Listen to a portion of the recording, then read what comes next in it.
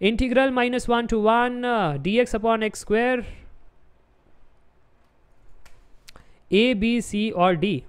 Hmm. Now this is a very controversial question but i have explained this question in the class. And i hope you remember. Do you remember that calculation? Improper integration? Varieties of questions i have solved. So this is one of the similar kind of question. So 5 4 3 2 1 very good. The wrong answer is c. The right answer is d. What? Yes check it out. Check it out check it out. We have to say that 1 upon x square looks like this.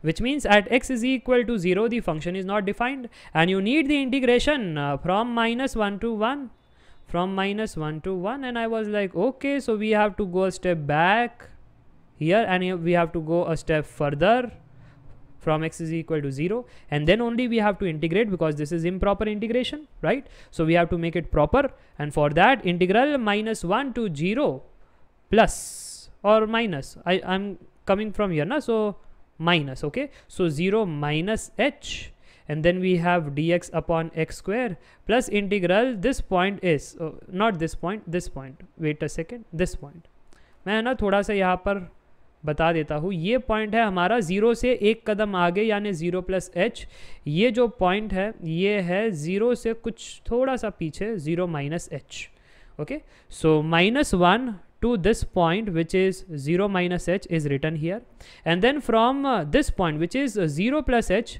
to one zero plus h to one d x upon x square this is my integration okay where limit h tends to zero now sir g limit uh, h uh, tends to 0 integral 1 upon x square is minus 1 by x. Minus 1 by x okay. Minus 1 by x upper limit minus h lower limit minus 1 plus integral of this thing is again minus 1 by x upper limit 1 lower limit h. So now please do upper limit minus lower limit and tell me what's the answer.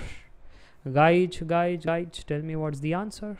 Sir upper limit if you put then uh, see limit h tends to 0 upper limit is giving you 1 by h correct then minus lower limit so minus lower limit will give me minus 1. Here upper limit will give me minus, uh, 1 and minus lower limit will give me positive 1 by h. So I was like, acha. So now this is 1 by 0 minus 2 plus 1 by 0, which is a infinity minus 2, which is infinity. Infinity is the answer. Answer is not.